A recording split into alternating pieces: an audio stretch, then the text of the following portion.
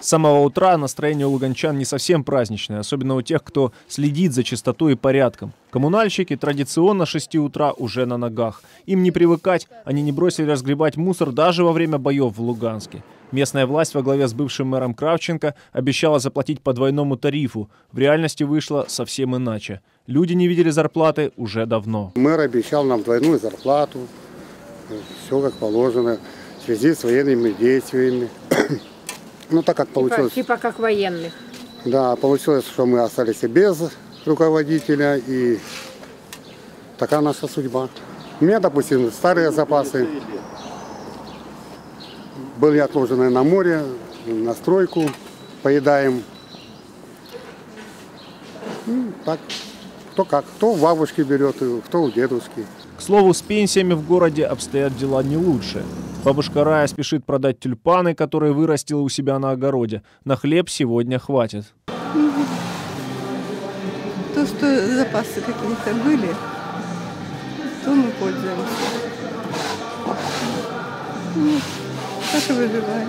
Потихоньку на улицы выходят жители Луганска. В основном это люди старшего поколения. Среди них можно встретить бывших партийных работников, ветеранов и участников боевых действий. Суворовские слова вспоминаются. Хочешь, чтобы не было войны, готовься к войне. Вот так вот и я. Подвал просмотрел вчера, позавчера, еще дополнительно прочистил, что случайно начнется, убегать туда. Бабку оставлю там, она же не поднимается на третьем этаже. Вот так вот и живем. Неподалеку в сквере на скамейках жители, как в советские времена, отмечают праздник. Выпьем, давай, руку протягивай. Выпьем за мир во всем мире, за дружбу, за труд, за май. Я от Луганской Народной Республики, я сам луганчанин. Я передам крымчанам привет большой, потому что За свободу Луганської крымчане очень переживают за Луганскую Народную Республику. Они, они за нас.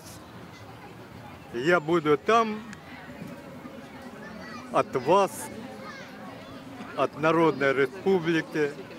Пожелаю всех нам благ, чтоб вот даже сегодня, чтоб не стреляли по нас.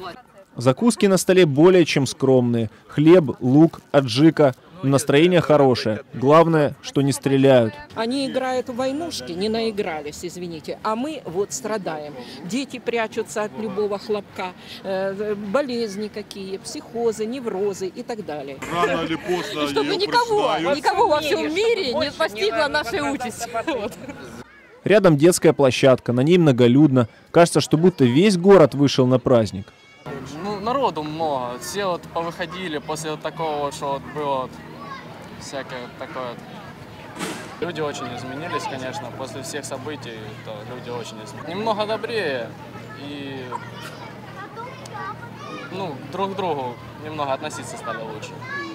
На майские праздники в так называемой столице ЛНР цены на продукты питания держатся на уровне столичных. Заводчик пони Виталий сетует. С такими ценами на корм как бы не пришлось продать домашних любимцев. У меня четыре пони. Вот, э, четыре пони. Содержать их тяжело.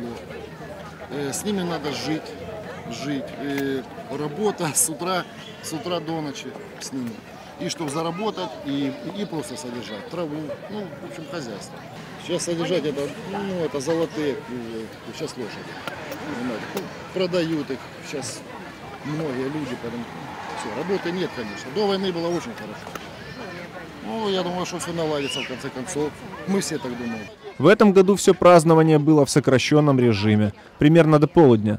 Выступлений с участием местных артистов также не было. Жители погуляли в центре, затем разъехались по домам. Комендантский час никто не отменял. Николай Самарцев, Андрей Дегтяренко, Донбасс Реалии, Радио Свобода.